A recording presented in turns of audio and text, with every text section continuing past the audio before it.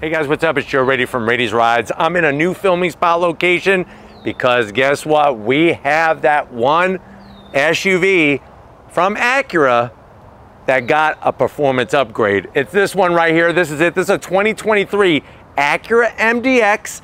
This, as you can see, is the Type S version of this midsize three-row SUV. But before we get into this Tiger's Eye painted that's the halo color for the Type S. Let's talk about what's going on here. Acura. They're really bringing that precision crafted performance to their whole lineup from the NSX, well, used to be the NSX, now the NSX no longer exists for model year 2023.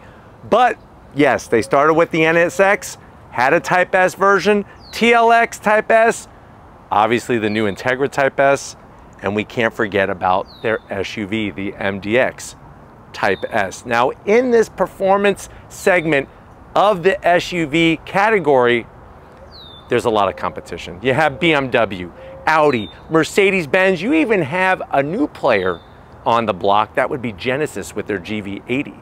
So what I wanna find out is, if you're looking for a performance SUV that has versatility for those daily duties, but also you can let it rip through the twisty bits, is the MDX Type S the one to buy over, say, a Genesis GV80 or a BMW X5? Let's go ahead, let's dive in and find out.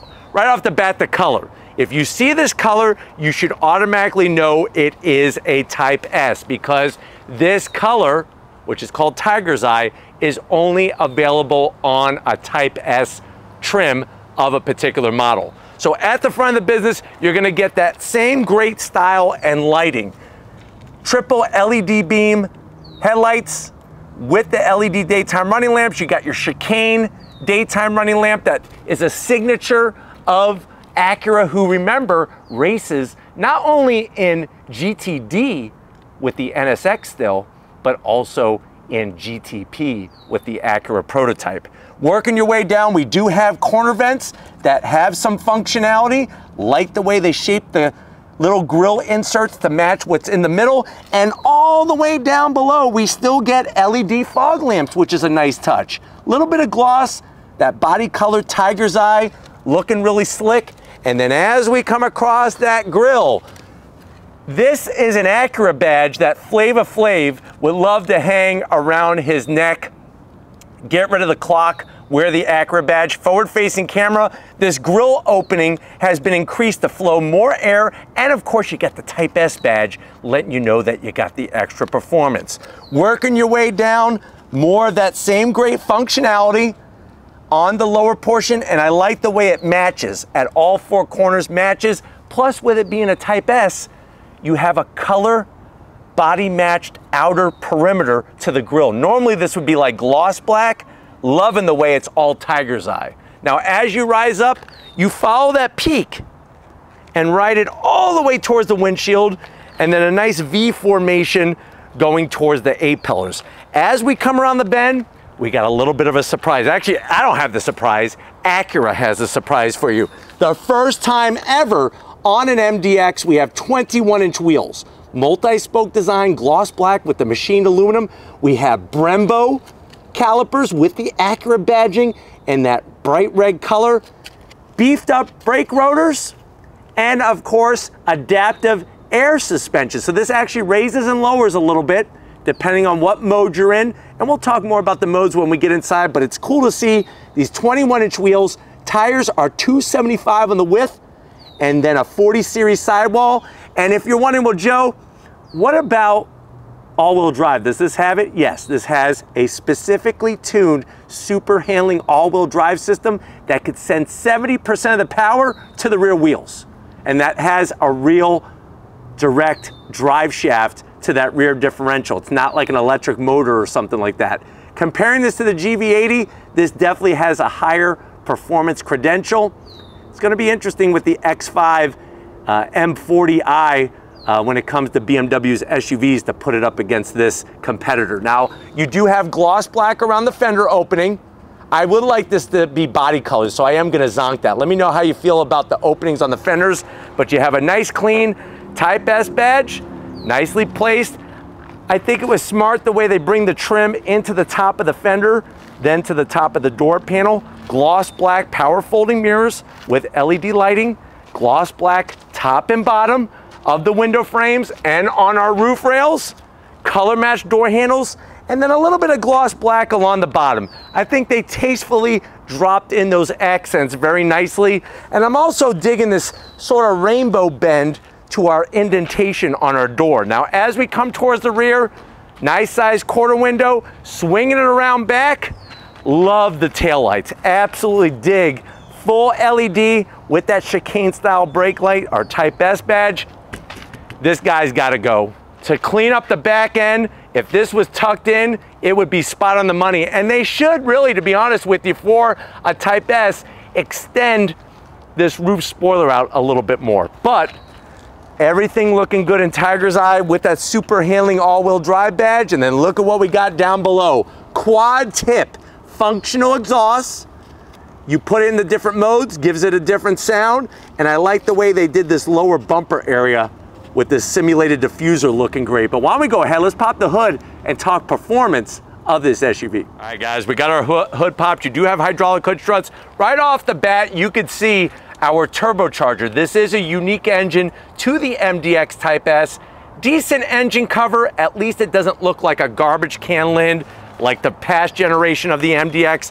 What do we got going on? We got a three liter turbocharged V6 engine, 355 horsepower, 354 pound-feet of torque. It's made it to a 10-speed automatic transmission. Now, if you compare this to the GV80, the GV80 has a twin-turbo V6.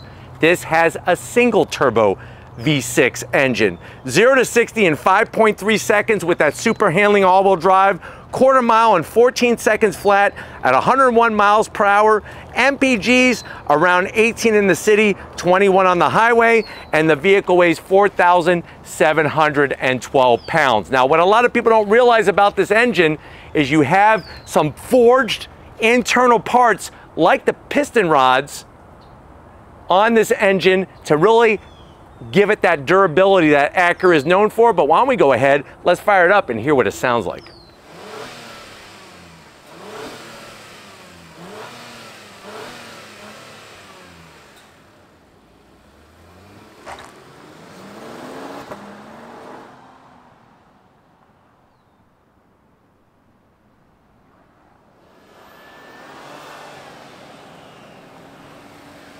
Hi guys, we are behind the wheel inside this 2023 Acura MDX Type S. I know you're saying to yourself, well Joe, I need a new SUV. My family's gotten a little bit larger, but you know what? I still want to feel connected to the driving experience and I want something with some pep. How much is this MDX Type S? The way that this one is optioned, you're looking right around MSRP of $73,000. Let's see how it stacks up to the competition to the door panels. I love what they've done with the materials. Up top, you have soft top black material, but then you have this dark stained wood without any veneer, which looks very classy. You do also have three memory seat settings for the passenger and the driver. You have the ELS Studio 3D sound system.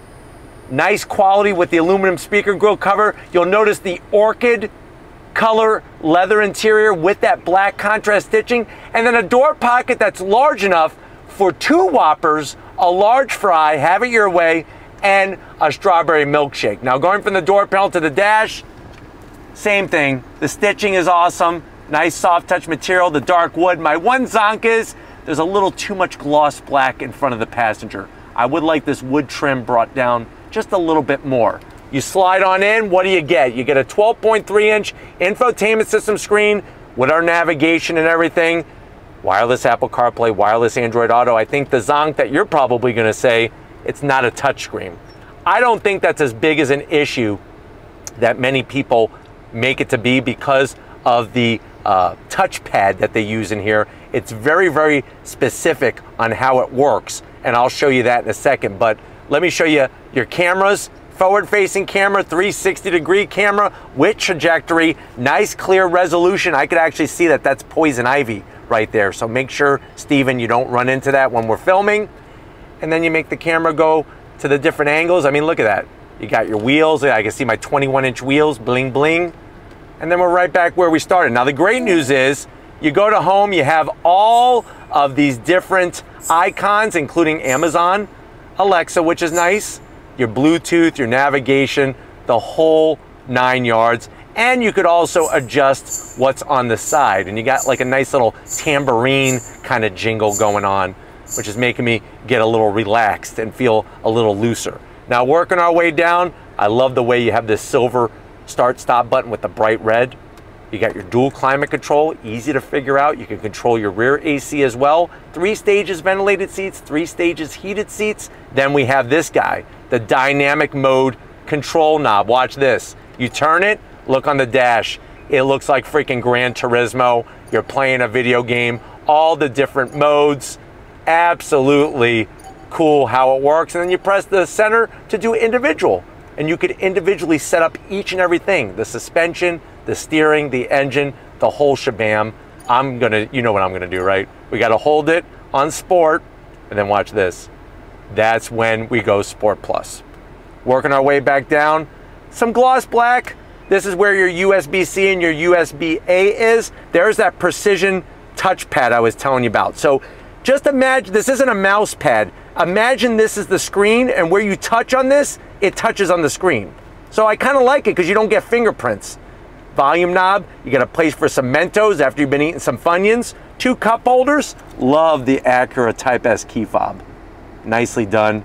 Got to give them some props. You got that remote engine start.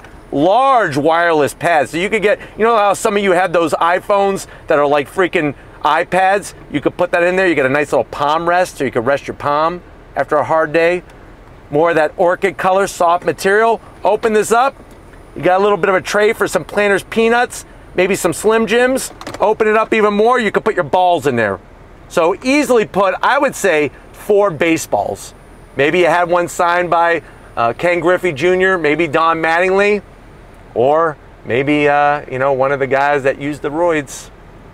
I don't think they're valuable as much as the ones that did not use the roids but you have felt lining in there so that the autograph does not get rubbed off. Plus you have a USB-A and a 12 volt in there. So they got you covered. Seats are phenomenal. The piping, the stitching, the beauty, the touch, full electric assist for the passenger, full electric assist for the driver, and of course we have this massive panoramic sunroof, which is gonna let the vitamin D just rain upon you. And then you could close it one touch of that, mom. No hands.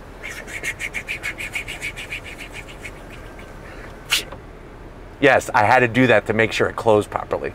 Now come over here to the business side. I want to show you behind a flat bottom steering wheel in this MDX Type right, S. guys, business time behind the wheel. You do have that Type S sill plate.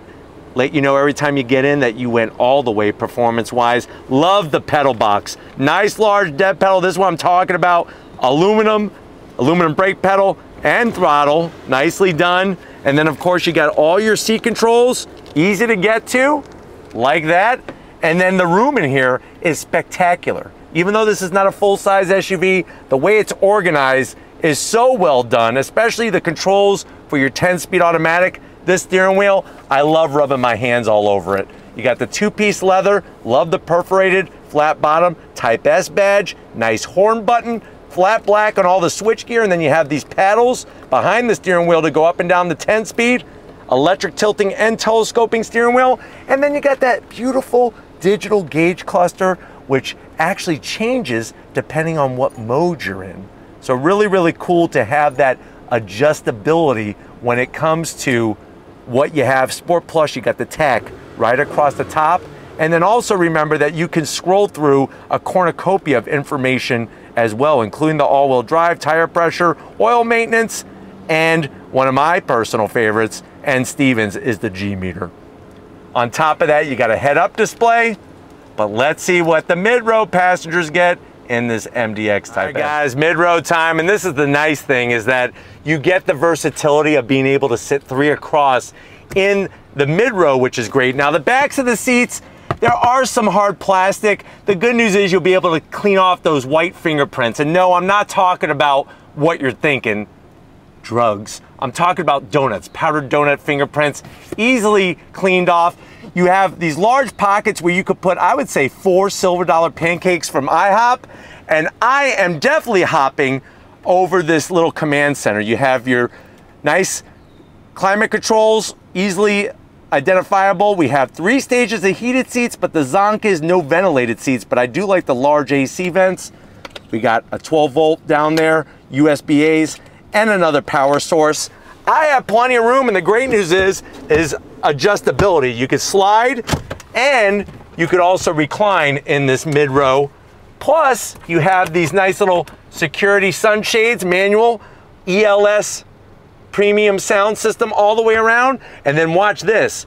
Let's say you want like a captain's chair arrangement in here because somebody isn't sitting in the middle. You ready? Abracadam, uh, abracadam, abracadabra, alakazam, one, two, three, change. Wham bam, thank you, ma'am. We now have our command, our little uh, captain's chair command center up with this setup. Two cup holders, you got a place for Funyuns. Just make sure you got some breath mints. And the best news is you could actually even remove this midsection in case you have some longer objects that you're transporting. But why don't we go ahead? We talked about the mid row. Let's get into that third row because I think it might be a little tight in the MDX. Let's go check it out. All right, guys, third row time. And I'm telling you right now, if you're tall like I am, it's gonna be a tight fit. You do have the speakers back here, so you'll be able to hear the music very well, but it might be there to kind of drown out your tears because it's just a little tight. I have the seat where I was sitting and you could see that my knees are right here. They're too high, they're in the back. I would need to move the seat up a little bit, which you can, but then that compromises the mid-row passenger. You do get USB-A's back here and a little cup holder, but other than that, I really would like just a little bit more space. Or, since this is the Type S Performance Edition, why not just delete the third row? That would have been a cooler option, I think. But why don't we go ahead, let's get this third row down and see how much cargo space we have in the MDX. Right, guys, cargo area time, real simple. Hit that nice electric assist. Comes up kind of slow, but you know what? It'll eventually get there. I have the third row up. It's interesting that they squeeze in a third row, but that gives you that open accessibility. You're looking at up to 18 cubic feet of space with the third row up. On the driver's side, you have a perfect nook for two boxes of Twinkies. And you have, of course, your 12 volt. Close that up.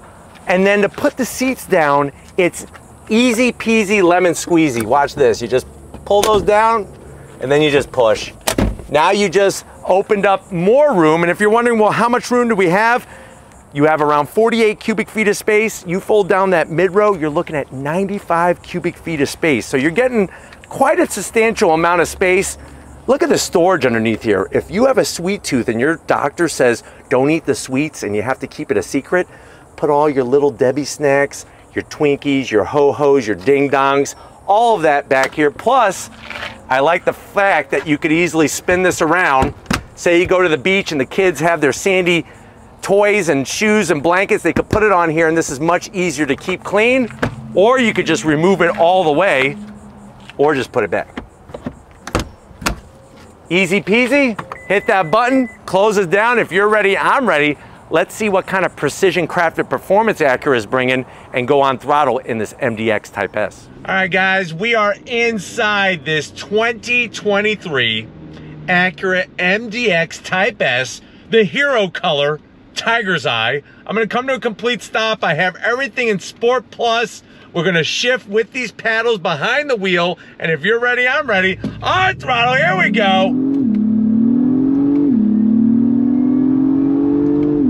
Smooth shifts from that 10 speed automatic and quite responsive too. The shifts are very quick when you hit the paddle, whether you're going up or down. You'll notice there's some sound being pumped into the cabin I'm on the fence about it. It's not as obnoxious as some of the BMWs that I've driven or Lexus, but it's obviously there and it's not 100% real, so. Sometimes synthetic pumped in sounds, they really hit the nail on the head. This one, uh, like I said, I think it's a half and half type of deal. Like half of me, I'm digging it. The other half, I want to zonk it. But when it comes to driving, The steering is so precise. I love the steering in an Acura or a Honda, and it really doesn't have to be a Type R or an NSX. They do a really good job with getting that feel into the steering of their different vehicles, no matter what kind it is. Now you do have a head-up display, and you do have everything well laid out here. That's for certain. That's that's the great news is is that everything is well laid out. The new dash that they're running with the tachometer across the top looks fabulous. And visibility is really, really great in here. Of course, with that V6 turbocharged engine, you're getting some torque.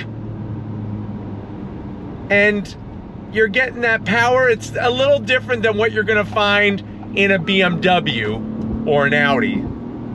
That's for certain. But I wanna find out how this car handles in the twisty bits because it's got that super handling all-wheel drive. So into a corner, you could really see how you do get a little body roll, but not too much. I think the, the bigger thing that needs to be updated are the tires. I would like a little stickier tire, but once you get humming, she starts to dance with you very, very nicely. And I think that's where you're gonna find the big pluses with how this MDX Type S drives. On throttle, here we go. Holds a line very nicely through this right-hand bend. Look at that. Very, very nice. You got those Brembos up front where we're able to shed speed very, very quickly. And you can stop on a yen and give everybody change. On throttle, here we go. I just would like a little bit more grunt off the line. And the crazy thing is, we all know that Acura is holding back a little bit with the kind of numbers that they could produce with this turbocharged V6. That goes without saying. But I think for somebody who wants to have that drivability, reliability, and just overall a well-balanced package. You ready? On throttle, here we go. Still using those paddles. On the brakes. That's where it gets fun in this vehicle, is when the road starts to twist and bend, you really get that engineering, that great engineering with the super handling all-wheel drive, sending power to the rear wheels, to the front wheels. And remember, 70% of the power can be sent to those rear wheels. All right, guys, we gotta keep doing this. It's a lot of fun, I have to admit. On throttle, here we go. All grip, no slip off the line.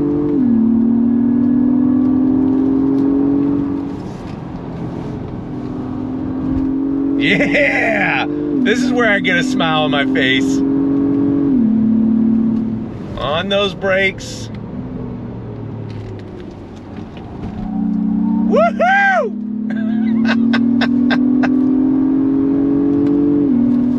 the other great news is the seats. I love the balance between obviously the luxury side of things, but they got some bolstering. I would like a little bit more on the bottom portion.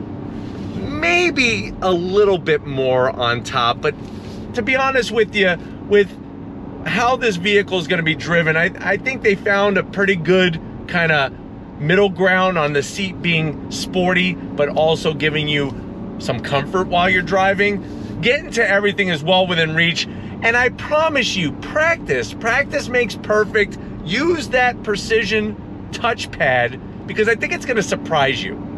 I think we're all obsessed with wanting to touch the screens. I personally hate touching screens because I hate the fingerprints. You get all these greasy fingerprints. You know, you're eating your, your checkers fries. You just dipped uh, maybe a chicken nugget into some BBQ sauce. That's barbecue sauce for those that don't know. And you wind up getting a nice smear all over the screen. So me personally, I'm glad this doesn't have a touchscreen, but let me know in the comment section how you feel about it. Uh, I know there's a lot of people out there that are very upset that this does not have a touchscreen. But driving this little back road here, look at this, nice long left sweeper. Like I said, a little bit of body roll, but nothing that's gonna make you feel like you're gonna topple over. Would like to see a little bit flatter transition when I'm in the turn. But you do have that adaptive air ride suspension. It does put a smile on your face, I have to admit. I personally like the fact that it's a nice balanced vehicle. And if you need to have that last minute third row for when your son or daughter needs to bring their annoying kids to the mall or to the movies, you could throw them back there. You have that flexibility. I personally would leave that third row down probably 99% of the time. But like I said, if you need it, it's there. I just, they got that beautiful quad tip exhaust. Let me hear it. What is it with Acura and Honda, besides the Integra Type S, where the sound is a little muted? I don't get it. But what I do get is on throttle. On throttle, here we go.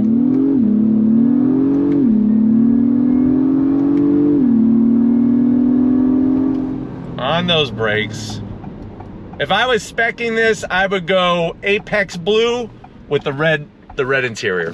That color combo just gets my heart pitter pattering. But having all the options, the ventilated seats, the heated seats, this steering wheel you're gonna wanna rub your hand all over all day long. And that's what you should be doing because you're driving. It feels really, really great. The materials in here are spectacular and you got a panoramic sunroof. But there are some things that could use some improvement. Like I said, that low down torque, I would like a little bit harder kick off the line. And I think overall, I'm not 100% sold on the electric brake system in this. It, yes, I know the technology's taken from the NSX, but it just doesn't feel as responsive.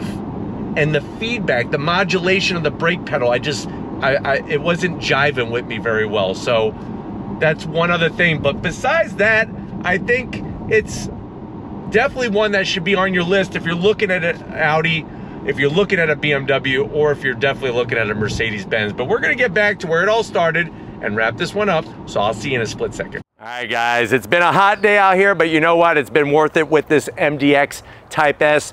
Definitely have to thank the whole Acura team, especially Chris, Antonio, Jake, Andrew, the whole crew getting us access to this tiger's eye, the halo color of the MDX Type S. Let me know what you think. Are you going Type S with the MDX over the Genesis GV80 or the BMW X5? Let me know down in that comment section. But if you're new to the channel and you're on your way out, hit that subscribe button. I promise you it's worthwhile. Come back for more. If you are a subscriber, thank you for being part of the Raiti's Rides family. Of course, none of this would be possible if he wasn't sweating out here in the sun with me. Give Steven Flood of Steven Flood Photography a follow on Instagram. Give him some love in the comment section. Thank you, Steven, for all that you do. And just like always, guys, I'll see you on the next ride.